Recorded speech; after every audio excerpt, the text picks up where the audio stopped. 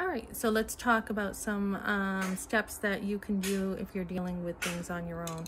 Number one, talk to somebody who you know and try to get in and live with them. So I have a lease that I'm able to get on. I just need to sign the papers, get it, get right on it with my son. And um, his brother was able to get right on it. So we're doing that. Next, I would recommend the food pantries. I just did a video that got cut off that talks about uh, the food pantries. Every single week I'm welcome there, plus there's more. There's churches here. I also decide to, um, well, I do like to work. So I had a job yesterday I got, and I decided to get a second job. So I have applications going out to also work at night.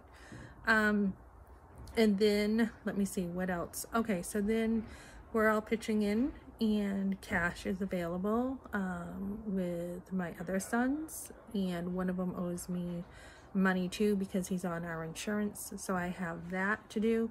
I have a check coming in. Uh, the communication is not there right now in my marriage. Um, I don't know really what's going on so that's an issue.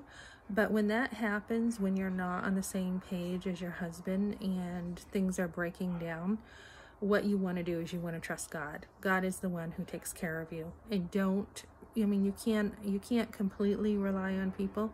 You want to be able to take care of yourself in life. Okay, so that's what I got for you today.